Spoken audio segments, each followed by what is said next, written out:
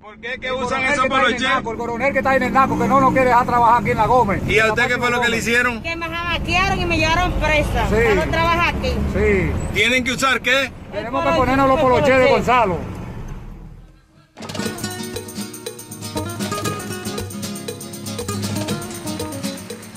Señores, continuamos con Peña de Toco, nuestro invitado de la noche, cinco estrellas, Manolo Pichardo, ese sí es un cuarto bate. Eh, una persona de muchos años en la política, un formador de políticos eh, que ha ocupado cargos sumamente importantes y que hoy está con nosotros debatiendo eh, temas de palpitante actualidad, cosas que la gente está viendo, excesos que se están cometiendo, que definitivamente en vez de ponerse a decir en las encuestas que el penco está por encima de Leonel y que está por encima de Abinader, muy bien saben que eso no es verdad, que, que cada día va más para atrás que no se ve una respuesta hacia lo positivo por el exceso de abusos y, de, alteración de lo que significa la igualdad dentro de lo que es un, un, programa electorero. O sea, no se puede seguir como se va, que lo están haciendo demasiado mal y eso le va a costar mucho al PLD porque reitero, eh, eh, eh, Manolo,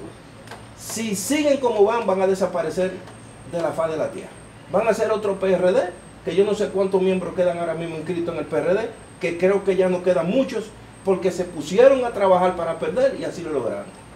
Adelante. 26. Creo que hay 26 en el PRD. 26 quedan, ah bueno, ahí tenemos un número. Pero mientras tanto, no sé... El conjunto, el conjunto universo, el conjunto universo del, del PRD ahora es como 26. ¿Qué, ¿Qué fue? Estos no son buenos, estos no son buenos. Señores, esta historia de los partidos que caen en pragmatismo, sumado a, la masificación, ahí termina. Oye, no hay ideología, no hay nada que seguir, no hay nada que formar. A mí me enseñaron hace tiempo en mis labores empresariales privadas que cuando una empresa no va a crecer, elimina el departamento de planificación, ese se va, no va a planificar nada. Elimina el departamento de entrenamiento porque tienen que entrenar. Solamente dejan servicio y contabilidad, porque aquí se va a cobrar y a dar un servicio, eso es lo que se va a hacer. Entonces, en eso, eso mucho cae Manolo, yo quisiera, antes de que comiencen con su, con su chimoteo, eh, eh, eh, esto, es una peña, precisamente ese es el programa, porque tú quieres llevar a la peña a un debate, a, ¿cómo a un... eso no va. Adelante. A un, curso político. Sí, sobre todo. O sea, hay, un, hay, un, tema que Ramón lo ha estado debatiendo muy bien, que es el tema de la gente. Eh, yo creo que siempre es un tema interesante tratar con personas que manejen bien el criterio político. Las encuestas son un excelente instrumento cuando pueden ser utilizados para captar el sentir del pueblo. ¿Cómo ha visto la, la fuerza del pueblo? El devenir de todo este concepto de encuestas, yo estoy armando una información a veces a, todas luces desordenada. ¿Cómo, ¿Cómo, lo ves? Mira, ocurre que hay firmas encuestadoras que se dedican a publicar números para hacer publicidad y lograr el posicionamiento de las personas que le contratan. Eh, y ese tipo de, firmas encuestadoras yo las catalogo como desastrerías, ¿verdad? Te va y le hacen un traje a la medida cuál es su talla, se la miden y entonces se la, se la, se la dan. Entonces lo que hacen es definir una estrategia electoral partiendo e involucran en esa estrategia electoral las firmas importantes. Bueno, nosotros queremos posicionarnos, nosotros queremos que se piense este, vamos entonces a incidir en la opinión pública. Entonces sacan números, se sientan en un escritorio y hacen cosas y empiezan a publicar. Eso es un tipo de encuesta. Hay otras encuestas que son herramientas de trabajo, ¿verdad? Que tú empiezas a medir a ver por dónde va la gente, cuáles son sus inquietudes, qué es lo que quiere, a qué aspira. Entonces, sobre esa base, tú articulas un discurso y tú articulas una estrategia. Son, eh, son eh, instrumentos de trabajo. En la República Dominicana, y sobre todo en estos días, se han presentado algunas llamadas firmas encuestadoras. La que más llamó la atención y generó mucho debate y polémica fue la Mark la Mark Penn porque este, Bernardo Vega, que es que la representa, había dicho un mes antes de publicarse esa encuesta, menos de un mes antes, que no, había, Sí, Dos semanas Mark, antes. sí, dos semanas antes. Mark no publicaba encuesta en medio de esta situación de crisis eh, pandémica por el hecho de que tenía que hacerse de manera telefónica y que eso no tiene ningún rigor. Correctísimo. Bien, luego entonces presenta la firma encuestadora y dice que fue hecha de manera telefónica. Entonces, anteriormente la había descalificado. Una dicotomía. Descalificó. Por supuesto. Luego, no sé si ustedes se dieron cuenta que en la ficha técnica y él de viva voz había dicho que eh, esa encuesta tenía eh, de confiabilidad un 3%. Eso es correcto. Está ahí, Sí, está ahí. sí. Un 3% de confiabilidad. Bueno, si tú me tienes un 3% de confiabilidad, el 90%, el 97% no es confiable. Eso es correcto. Por lo tanto, eso está totalmente descalificado. Total, claro. Entonces, entonces este, hay una serie de errores también. eh, te pones a hurgar los detalles, eh, hay una serie de errores. Y bueno, y, y la gente fue tan visible aquello que, que, que- que Alicia, que, que presenta a esa firma encuestadora, tuvo que hacer un editorial para poder de- de- defender aquella Sí. firma encuestadora Sí. que cayó tan mal Sí. y que cayó en el desprestigio total. Yo no creo que esa firma encuestadora se atreva a publicar otra vez en la República. Así mismo. Ahora bien, Claro. Ah, carajo. ¿Cuánto, cuánto quiere apostar que sí? bueno, pero ya no. eh, lo Que pueden hacer, que lo hagan, claro. ¿Qué pueden El tema es perder? que su credibilidad, no, el tema es que Es- su credibilidad ya Sobre está- todo, está está cuestionada. No, esa gente le importa eso. muy cuestionada. Ah, o sea, carajo. Ahora, yo Mira. le voy a decir algo. Habla, ya que tú hablaste de ficha técnica, necesito otro pequeño dato.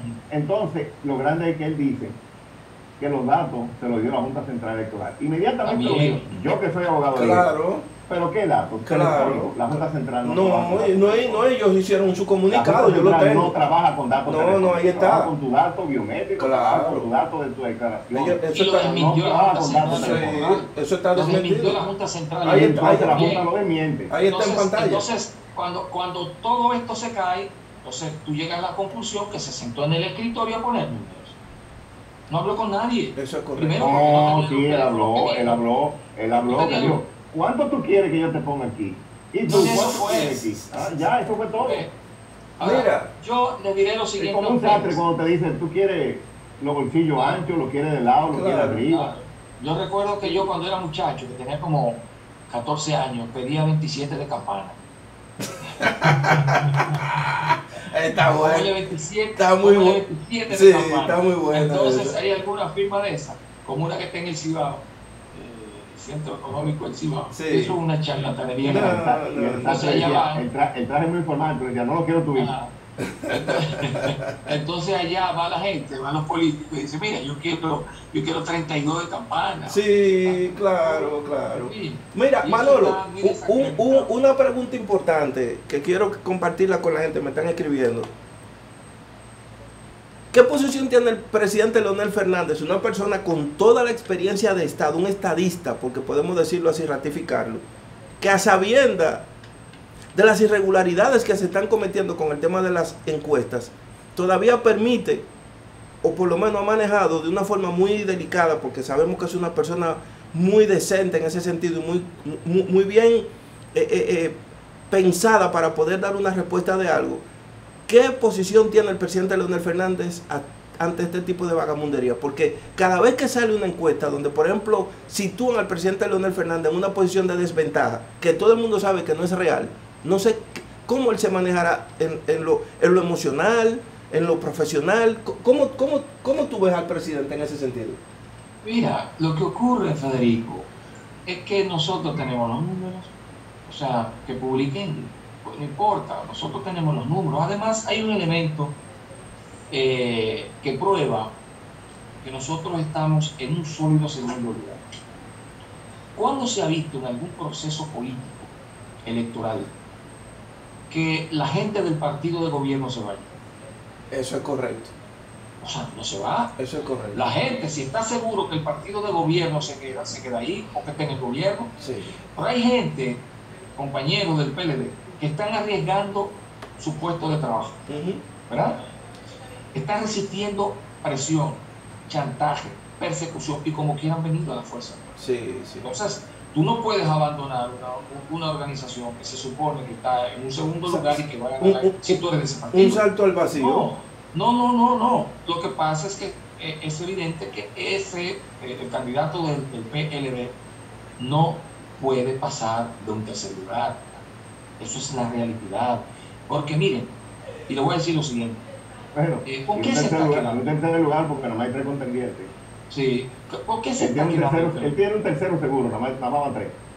El PLD se está quedando eh, con esa dirección, ¿verdad? Eh, política que tiene. Porque todos los cuadros están todos los días renunciando. Los compañeros renuncian, dan la cara, dan su nombre al organismo a que pertenecen. Ustedes lo pueden ver en los videos. Sí. En los videos. Dan la cara y dice quiénes son. Y eso se estaba haciendo. Compañeros eh, que, que yo tengo viéndolo desde que, desde que yo era un muchacho, están renunciando todos al Partido de la Liberación. Sí. Primero, alegando lo que, lo que alegó Skinner, el, el video que pusimos hace un ratito, Sí. al, al inicio, que se puso. O sea, el PLD abandonó los principios que le dieron origen. Todo lo que nosotros combatimos y por lo que nos organizamos en el PLD para combatir, está haciendo el PLD ahora. O sea, eh, eh, eh, Sí, entonces, sí. tú no cabes ahí porque entonces sería negarte a ti mismo. Eso es Si tú, si tú sigues sosteniendo esos principios que te llevaron a militar en el partido aquella vez, Sí, y entonces tú sigues militando en un partido que abandonó todo, tú te estás negando a ti mismo. eso es correcto. Entonces muchos compañeros, para no negarse a sí mismos, han decidido pasar a la fuerza del pueblo y esta es una organización formidable que con apenas siete meses ha desplazado al Partido de la Liberación Un, fenómeno tiene- político. Tiene 40 años y pico. Un, existencia. un- un fenómeno político. Melchor, cuando tú hablabas del tema de lo bizarro, que es bastante interesante definitivamente, eh, eh, eh, ese planteamiento que tú haces, sí, porque eh, definitivamente es interesante, es discutible, es debatible, entonces la gente necesita entender por qué tú utilizas ese calificativo. Mira, mira porque yo utilizo, es una estrategia muy utilizada en muchos conceptos. Es siempre llevar la contraria para crear una confusión, crear una duda. Solamente funciona cuando el auditorio es un auditorio de escasa formación, un auditorio fácilmente influenciable. Y a eso es lo cual se está jugando, tratando de esconder realidades con imaginaciones, con figuras de otro contexto. ¿Cómo tú eh, puedes justificar que para tú instalar una planta envasadora de gas debe pasar por no sé cuántas normativas de seguridad? Ustedes vieron el desastre de un, tanque, un tanquero de gas que explotó una, una industria. Sí, Ve, entonces tú ves ahora tan fácilmente a un candidato repartiendo gas a granel y, y dice un síndico de Santiago Al- que está conservando toda la Eh, seguridad. El alcalde, el flamante alcalde Abel Martínez, ex legislador, legislador, que se supone del verbo supositorio, que conoce las reglas de juego. Entonces, eso es lo que se llama vivir en un mundo bizarro, ¿Verdad que donde sí? usted invierte las reglas Sí. y presenta una imagen que uno no puede. Pues eso es verdad, pero yo estoy viendo una cosa y diciendo otra en mi cara, Claro. porque yo soy un idiota. Claro. Yo- Claro, a eso- a eso claro. que se juega. Cuando Claro. tú vayas a hablar de, de eh, aviones que salen y de repente para un avión por allí y viene República Dominicana, entonces, pero ¿cuántos aviones de República Dominicana estaban en el aire? No había otro que no fuera lo de ese señor, entonces, ¿de qué estamos hablando? Son cosas tan evidentes que verlas, verlas de otra forma, ¿Qué? decirte otra cosa, es como en otro mundo. Entonces yo llamé a eso el mundo bizarro, Sí. el mundo al revés, todo te lo ponen al revés. Y, y tú, ¿cómo que dices? Pero yo soy un idiota que O sea, ¿quién me quiere convencer. Por eso se ratifica mi teoría de que no pegan una. Porque yo quiero también que alguien me corrija, porque o, o- o- es que dirán que yo soy un apasionado, que estoy apoyando a la fuerza del pueblo de manera burda. No, es que lo estamos viendo, porque el tema ya no es de fuerza del pueblo ni de Luis H. Abinader, no, no, no. Es la realidad que está viviendo la República Dominicana y me reitero con el ciudadano de a pie que usted se para en cualquier esquina de la República Dominicana y hace una encuesta de boca y usted se da cuenta cuál es la realidad. Esto no es asunto de que de- del Centro Económico del Cibao, como muy bien menciona Manolo, trajes a la medida con pantalones campana de 27 pulgadas, no. Es lo que la gente dice. Y ahí es donde está la realidad. Eso no- que, no, que, no te- que no se engañe nadie ante esa realidad. Que no se engañe nadie. Good. Federico, eso es idolatrar la vulgaridad. Eso es correcto. Muy interesante ese término. sí, hacer una apología de la, de la vulgaridad, porque al final de cuentas, cuando tú haces a las personas actuar de manera vulgar, tú lo puedes acusar de que su, su futuro, su resultado es producto de su accionar. Sí, correcto. Si tú eres una vulgar, Silvio, no te quejes mañana de que no te, no te- tú vives en eso. ¿Me, me comprendes? Eso es parte de, de las estrategias que están aplicando, que hacen parecer que todo el mundo está en el mismo saco. Sí. Yo creo, y eh, a Manolo lo felicito, me ha sorprendido, yo no lo conocía. Tengo que felicitarte, Manolo. ¿Y tú, crees, ¿Y tú crees que a Peña de todo viene todo el mundo? Ahora te pregunto yo a ti, pero, pero tú, estás, tú estás muy mal, Melchor, tú tienes que tener cuidado. No, Manolo, Manolo es, una, es una escuela peripatética. Muy, muy articulado el discurso, muy articulado y muy, muy correcto. Muy acorde con la intención de un partido que pretende, espero, el tiempo no, no, no lejano, estar dirigiendo su destino del Estado. Sí. Y tiene mucho por hacer, tiene un Sí, gran sí, camino por correr, un gran pleito que echar, cambiar muchas cosas. Por eso yo preguntaba al principio el tema del manejo del Estado. Para mí, la estructura del Estado provoca el pragmatismo y el invento, como dice el candidato del PLD, inventando, inventando, inventando. Bueno, eh, a eso, en este momento, y como estamos viviendo unos años bien difíciles, inventar pragmático no es apoyo. Necesitamos políticos conscientes, políticos planificadores, políticos con líneas de razonamiento.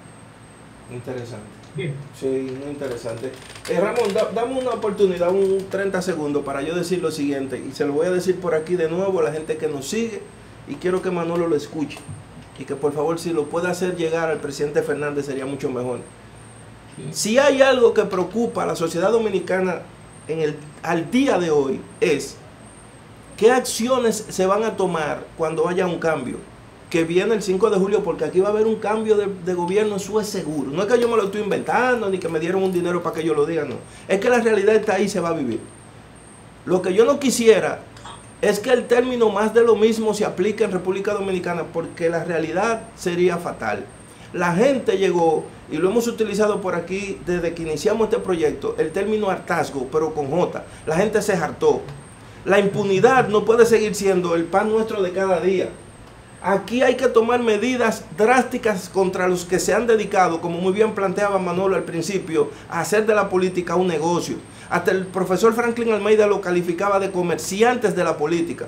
Entonces no es posible que ante un cambio de gobierno aquí se venga a negociar la impunidad porque el, el pueblo no lo va a perdonar. Definitivamente nosotros que hemos luchado tanto por un cambio y que estamos por aquí haciendo comunicación, tratando de ser transparente en lo que hacemos, de por lo menos eh, eh, eh, aportar un granito de arena a la causa para que haya un mejor mañana, que nos vengan a salir con más de lo mismo, como que sería un, no sé, defraudar a la sociedad dominicana. Y en verdad, Manolo, mira, eso tiene a todo el mundo, te lo confieso, y ustedes que están en la calle día a día viendo la realidad, muy preocupados, ¿verdad que sí? Otra cosa Bueno. que me tiene a mí preocupado es, fíjate Melchor, lo que le hicieron a Leonel Fernández, que yo fui testigo de eso, que yo dije, bueno, en las en las primarias, yo no soy miembro del PLD, pero el PLD realizó una, unas primarias abiertas y yo fui y quise participar. Tú recuerdas, Kiko, que yo cuando salí de la mesa de votación envié un, un texto diciendo, prepárense, que ahí viene algo. Yo pasé una hora y 45 minutos en una fila, Sí. era el número 5 en la fila, y en una hora y 45 minutos la fila no se movió. Claro, claro, claro. Pero había gente que entraban por atrás y entraban con los grupos de, que tú veías con el cartelazo del PLD y el cartelazo de, de- de- del Penco, Mm. metiendo gente por atrás y esa era la gente que votaba. O sea, solamente votaban lo que ellos quisieran que votaran. Yeah. A la hora y 45 minutos yo me harté, ya me habían hasta quitado la cédula que me la devolvieran, no me la querían devolver. Digo, o me la dan o cierro, queme esta vaina. Sí. Me devolvieron mi cédula, la señora se asustó, un policía ahí dice, no, yo quemo esta vaina a pesar de usted, con todo el policía lo quemo. Es que no, para mí no Me devolvieron mi cédula y me fui y dije, aquí se está cociendo algo. Entonces fíjate que fue lo mismo. Ellos empezaron a sacar una encuestica de sastrería, una encuestica de sastrería donde Leonel encima y ellos iban ahí y el penco ahí y el penco ahí y el penco ahí y el y de repente lo, iguala- lo igualaron y ahí salió aquel meme famoso del presidente de la Junta que decía, ya tengo los resultados, no más faltan las elecciones. Sí, sí, sí, sí, fue muy Ahora bueno. están haciendo lo mismo, lo único que ahora, ahora no tienen, ahora no tienen el elemento del voto electrónico. Pero Ese es un con problema que tienen serio. Yo no Sí. sé si ustedes se dieron siguen cuenta. con la misma idea, es el mismo Fíjense método. ustedes. Aprovechar no la pandemia para hacer lo mismo. Adelante, Claro. adelante Manolo, sí que interesante eso que vas a decir. No sé si ustedes recuerdan que previa a, la- a las elecciones eh, municipales, el presidente en una actividad, presidente Danilo Medina, en una actividad de su partido, sacó un mapa pintado prácticamente de morado entero. Me Sí. parece que solamente dos municipios aparecían de otro color. Correcto. Tres municipios, no sé. Y él decía que el mapa iba a ser completamente morado porque de esas que estaban de otro color todavía se podían ganar. Sí, sí, exactamente. Eh, y fue una caída estrepitosa. ¿Saben por qué? Porque en ese momento que él estaba exhibiendo eso, todavía se pensaba que se iba a votar con el voto electrónico Eso y que iban a repetir en, en el país lo que pasó el 6 de octubre. Al Exactamente. caerse del voto electrónico, Sí. vino la situación de debacle Eso es el que cayó el Partido de la Liberación Dominicana. Y ahora se va a demostrar también Ujú. este proceso de, de- del próximo 5 de octubre. O sea que eh, nosotros vamos bien, el país este, está esperanzado en un cambio. Yo la verdad que me siento, siento mucha vergüenza ajena, porque milité en un partido de ideas, un partido de proyectos. Sí, eso debe de Y ser, debe de ser los difícil. Los compañeros que están todavía ahí están en el partido del salchichón. Es una cosa terrible y traumática, Sí, es frustrante. sí.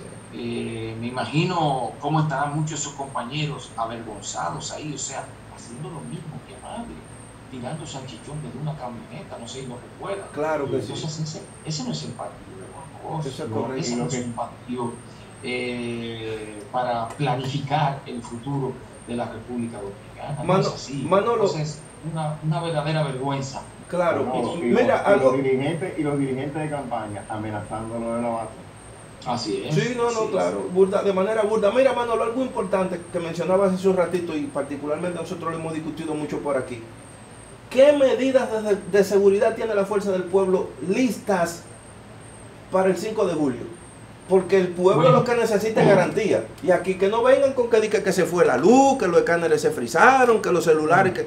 Óiganme, que no se atrevan, y lo hemos dicho por aquí. Mira, nosotros tenemos un ejército entrenándolo. Eh, hay compañeros que están haciendo un trabajo formidable. Eh, Roberto, que es el titular de, la Secretaría de, Asuntos Electorales, que está acompañándole un buen equipo, que está el compañero Franklin Almeida también.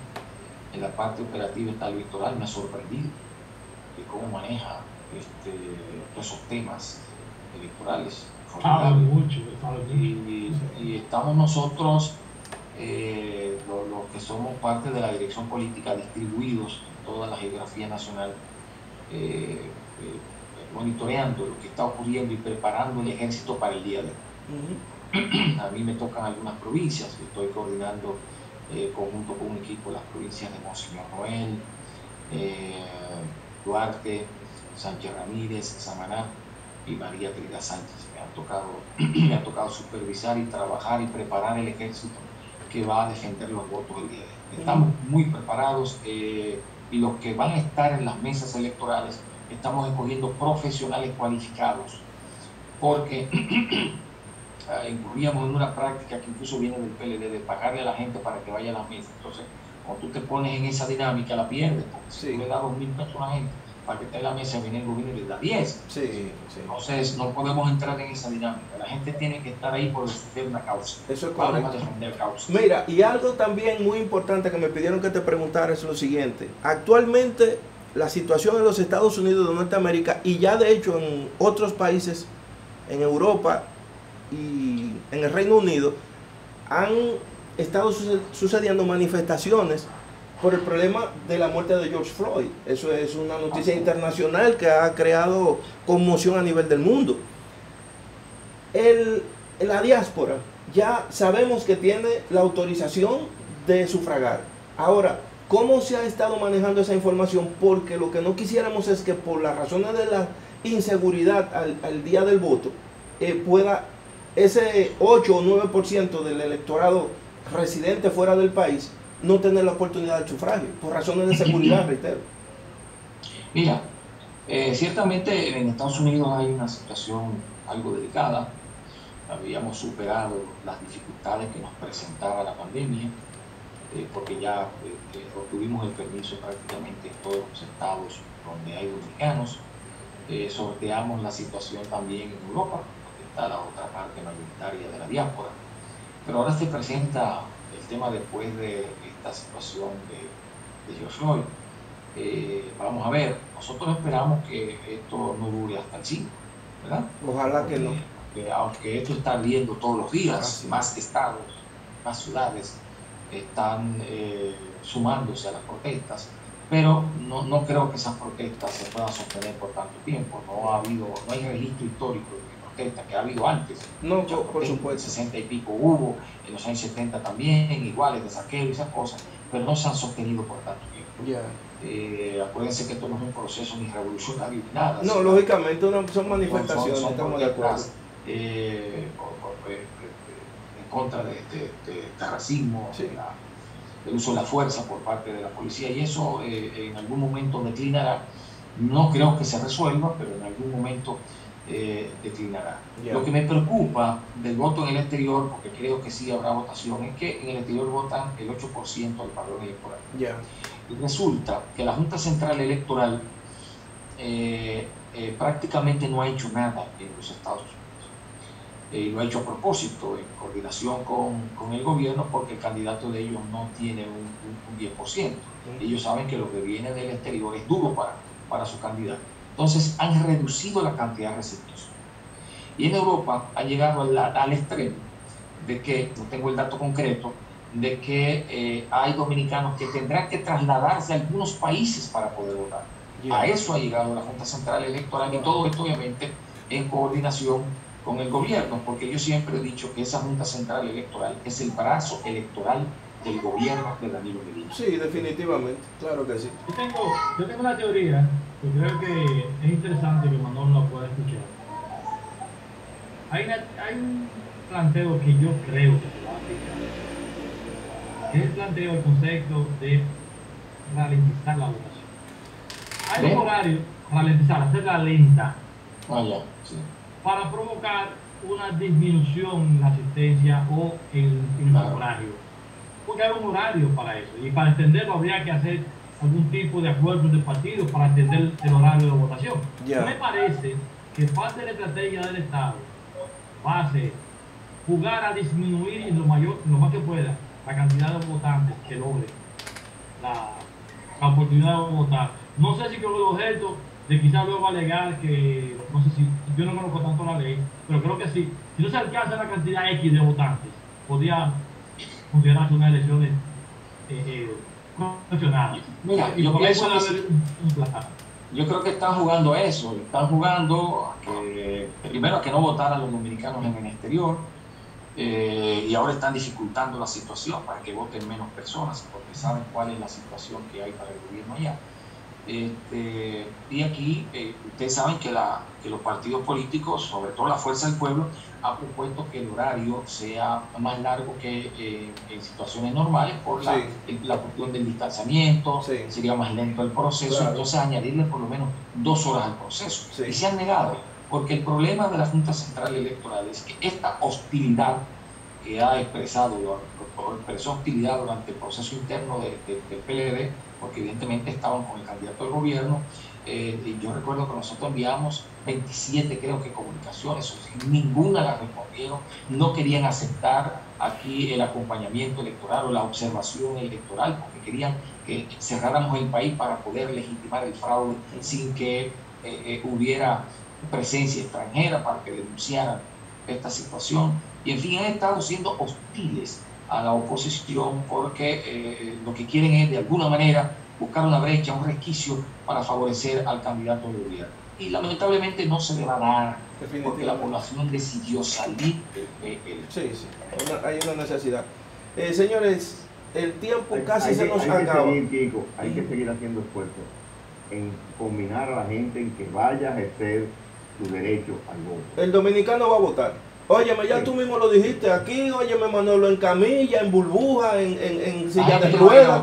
No, no, no, no, el dominicano va a votar. Yo estoy convencido de que el dominicano va a ir a votar porque no es posible que con los resultados que se obtuvieron en las municipales donde se vio a la gente definitivamente, a pesar de que hubo una suspensión histórica de unas elecciones, luego fue y sufragaron. Yo aposté a que muchos envejecientes, y ahí tengo las imágenes que siempre las reseño, no iban a participar y sin embargo lo hicieron. O sea, el dominicano ya decidió un cambio y el 5 de julio aquí va a haber un cambio de gobierno. Gústele, óigame, gobierno que quiera venir a interrumpir o estructura de gobierno que quiera venir con el poderío económico o con cualquier eh, eh, eh, maña que quiera aplicarle a unas elecciones como las que nosotros queremos que sucedan, no se le va a dar. Definitivamente no se les va a dar. Yo les deseo, Manolo, a ustedes muchos éxitos. Te reitero el programa la orden, nosotros por aquí siempre vamos a estar abiertos. Nos quedan prácticamente días eh, para el 5 de julio, pero si antes eh, quiere participar nuevamente con nosotros o cualquier otro invitado mes, que quiera ser un mes público. y- Un mes y unas horas. Eso es correcto, así. Estamos a las órdenes y al presidente Fernández puede decirle que por aquí también él tiene un nicho de prueba eh, comunicacional donde nosotros humildemente eh, le damos la bienvenida en cualquier momento y cuando guste, claro que sí. Bueno, yo les doy las gracias por la invitación a este interesante conversatorio, muy dinámico. ¿eh? No es una No peña. Aquí no, preguntas y a- respuestas, aquí no, un a- diálogo, un diálogo que se hace muy interesante. Esa es la idea, Sí. claro que sí. Un abrazo, hermano Melchor. Yo sé que tú siempre te quedas. Tú, tú sabes que yo a Melchor le digo que él es el Johnny Aves del, del programa. Tú lo ves con su mente fría, pero siempre interesante en sus participaciones. Eh, Pero un placer a Ramón y a Melchor, ¿eh? un placer. Muchas gracias. Un placer para nosotros. Así es. Así. Eso es correcto. Y a ustedes, como siempre, señores, gracias por estar con nosotros. A los que se han suscrito. Mira, valió la pena los cambios que hicimos, eh, Ramón. De- de- de- de- oye, la estrategia mercadológica funcionó. Gracias al amigo Funcionó, que dijo, funcionó. sí, funcionó. La gente está cayendo muy bien, están creciendo los views. Así que nada, reitero mi Ahora gratitud. ponle, a este tú le pones la fuerza del pueblo a través de Manolo. Claro, Manolo Pichardo, así señores. Entonces nada, un abrazo. Eso es correcto y será hasta la próxima. Se les quiere mucho. Cuídense.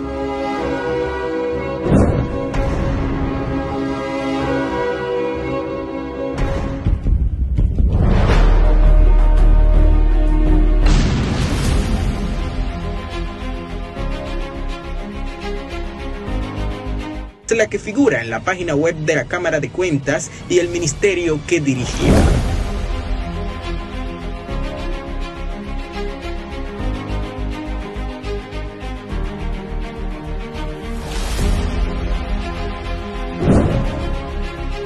El aspirante presidencial que se define como un hombre humilde y trabajador posee más de 20 cuentas bancarias que entre pesos, dólares y euros suman más de 9.448 millones de pesos.